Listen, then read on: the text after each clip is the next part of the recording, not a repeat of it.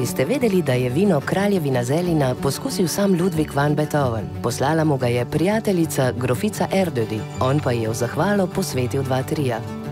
Predmeti najdeni v Zelingradu, simbolu rojstnega kraja očeta modernega vinogradništva Dragotina Stražimira, pesnika Dragotina Domjaniča in umetnika Vjenceslava Richterja, ki jih hrani muzej mesta Zelina, govorijo zgodbo o ljubezni do vina, druženja, običajev in bogate več kot 700-letne vinogradniške tradicije.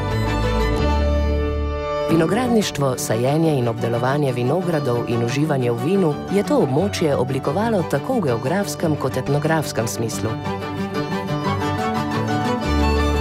Podajte se po poteh Zelinske vinske ceste. Dovolite, da vas popelje v nek počasnejši, bolj iskren čas.